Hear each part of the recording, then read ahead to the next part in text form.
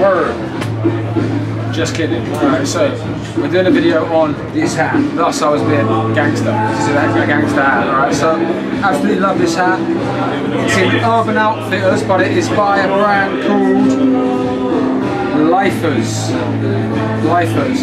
A brand called HUF also do a very similar one and it retails at 18 quid at the moment in Urban Outfitters.